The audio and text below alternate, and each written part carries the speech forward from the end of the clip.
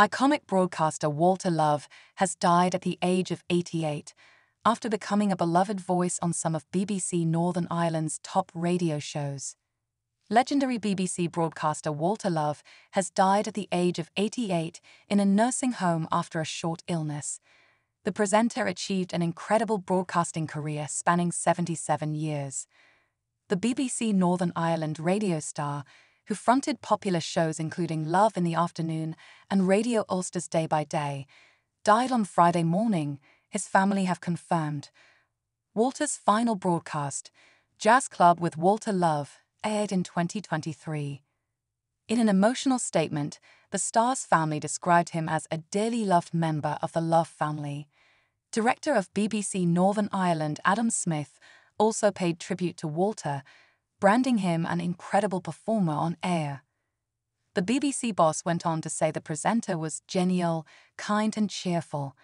He also revealed that Love had a hint of mischief about him. He loved presenting radio programs, and his melodious voice, ability to create rapport, and his encyclopedic knowledge of music made him one of our longest serving and best loved broadcasters, Miss Smith shared.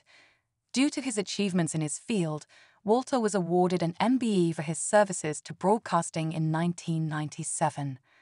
The presenter was also inducted into the Phonographic Performance Ireland Radio Awards Hall of Fame in 2014.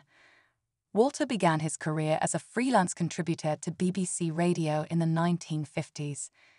He then got a job as a studio manager in London, Walter went on to spend a decade as a TV newsreader in Belfast before joining Radio Ulster in 1978.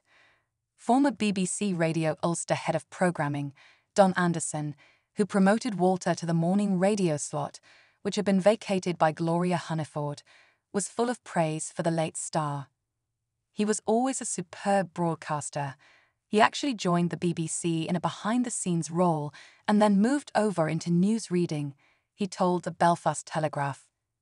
He was a gentleman, and he was a gentle part of gentlemen. He was always polite, had a wonderful voice. In many ways, he was most respectable in broadcast terms.